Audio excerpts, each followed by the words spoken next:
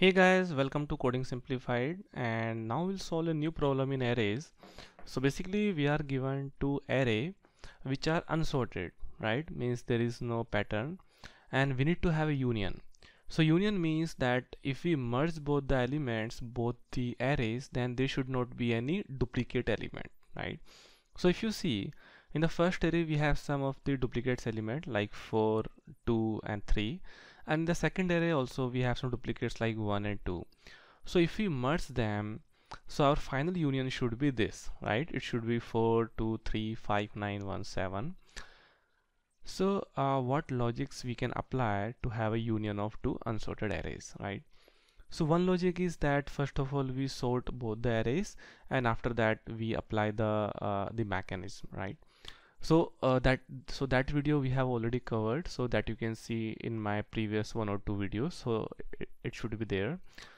Now the complexity of that thing is that first of all you will sort the array right? So the best complexity in sorting is either you will use the quick sort or you will use the merge sort. So in the both the cases our complexity will be n log n right? And after that we'll have a union.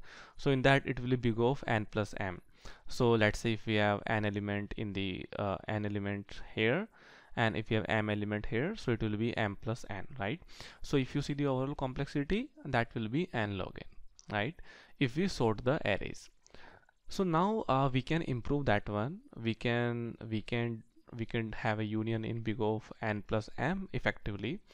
So what we can do basically for that we need to have a hashing right so in hashing what happens? So let me directly explain you through uh, through code or through explanation how it will happen. So basically uh, we'll take a set right? So the so the functionality of set is that it will have always a unique element right? So you can take hash set you can take a linked hash set whatever right? But we'll take set right? So now uh, for what we'll do we'll basically put we'll basically iterate the first uh, first element first array from here. So let's say this is i and here this is j right? So now uh, we'll take a set. So let's say this is set and and in set we have we'll put the element. So we'll start from the zeroth element of the of the first element from the array 1 and we'll keep on adding and we'll add all the elements of set right so now what will happen? First of all it will it will put 4 so now 4 is not here. So it will put 4 here.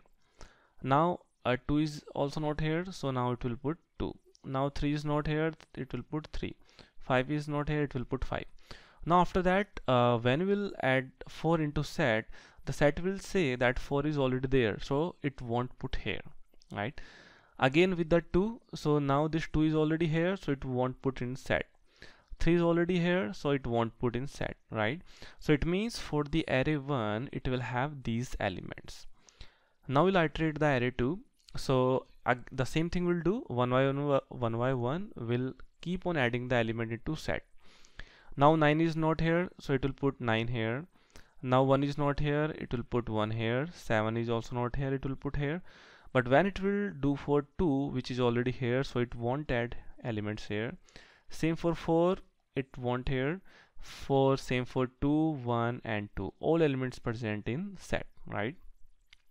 So if you see finally that you can see that all the elements here are unique element right? They are not duplicate which is basically the same if you see the union right?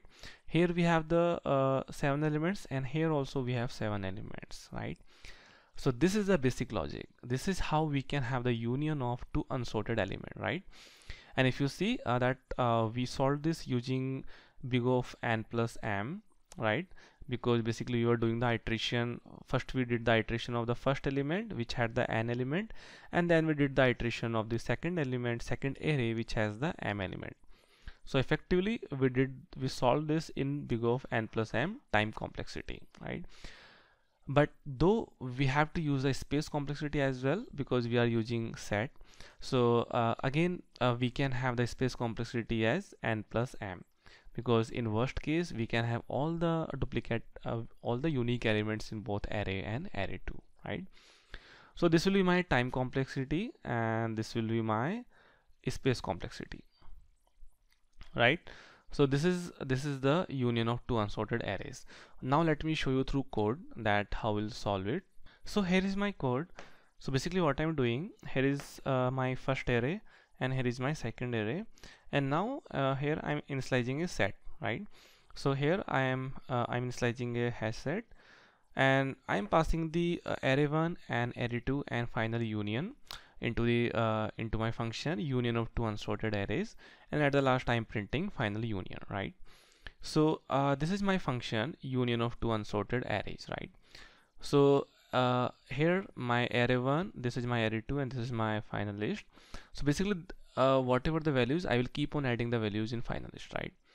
So I will take one variable for the first array i and j for the second array. Now as simple that I'll basically just add all the elements into the set right? And similarly I will add all the element into uh, the set for the second array as well right? And at the last you will have all the unique element right? So if I run the program as you can see that all the elements are unique at the finally right? So that's the basic concept that we have seen that how we can do the union of any two unsorted arrays right so it was basic problem just take set and then keep on add the element right? So guys uh, that's it about this video. If you have any doubt for it then please write in the comment section and I will try to explain that. And guys if you have liked the video then please like it and subscribe the channel for more such videos. Thank you